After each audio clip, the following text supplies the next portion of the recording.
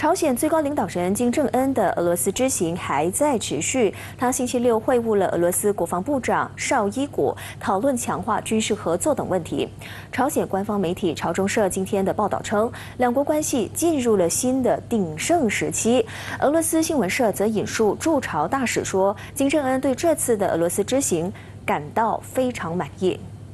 俄罗斯地方官员星期天发布一段视频，显示金正恩参观了远东城市海参崴一家剧院，并在欣赏了《睡美人》芭蕾舞舞台剧第一幕之后就离开。莫斯科地方官员会见金正恩后表示，俄罗斯和朝鲜在文化交流方面拥有巨大的共同利益。根据俄新社报道，金正恩将在结束俄罗斯访问之行之前参观多家食品工厂。